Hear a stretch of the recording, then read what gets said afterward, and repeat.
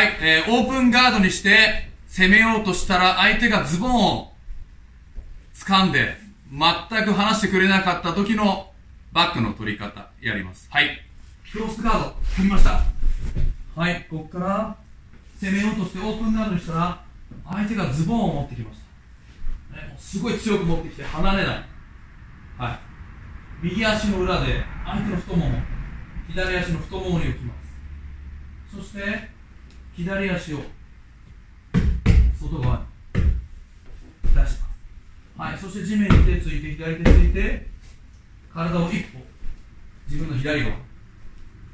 そして、襟を引いて、右足をプッシュします。そうすると、相手のバックを取ります。はい、もう一回やります。はい、クロスガードかな。オープンガードにして攻めようとした。相手がズボンを持って離してくれません。はい。